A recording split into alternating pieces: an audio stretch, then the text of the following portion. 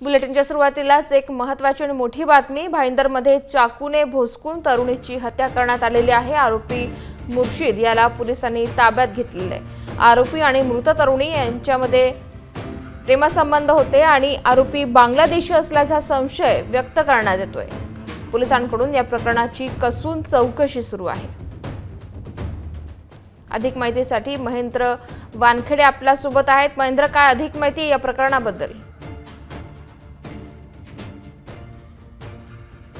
मुर्शिद आणि समिता हे दोघं रिलेशनशिपमध्ये भाईंदरच्या रमेश अपार्टमेंटमध्ये राहत होते. आणि जी समिता आहे तिचा जो भाऊ आहे तो मुंबई फिरण्यासाठी आला होता.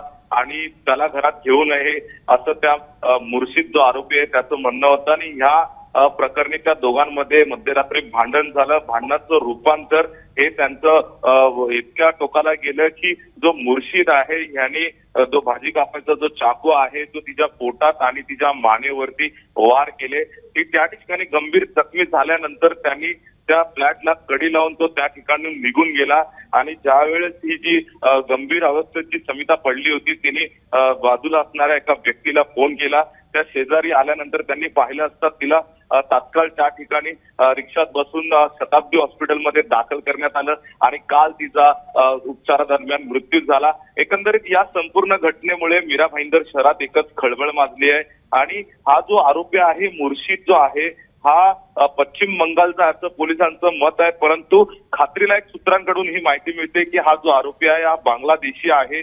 पोलिसांशी बोलण्याचा प्रयत्न केला. पोलिसांचं या संपूर्ण प्रकरणामध्ये हेच मत आहे की ही जी मुलगी आहे ही सुद्धा पश्चिम बंगालची राहणारी आहे आणि हा मुलगा सुद्धा पश्चिम बंगालचा आहे. परंतु हा बांगलादेशी असल्याचं सूत्रांकडून माहिती प्राप्त होते.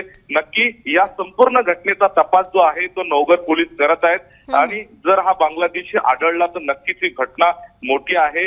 कारण की राज ठाकरे यांनी बांगलादेशींच्या विरोधात जो मोर्चा काढला होता त्यानंतर मुंबईसह महाराष्ट्रात अनेक बांगलादेशींची धरपकड करण्यात आली होती. आणि आज या ही जी घटना घडली या घटनेमुळे एकच खळबळ माजली आहे. निकिता.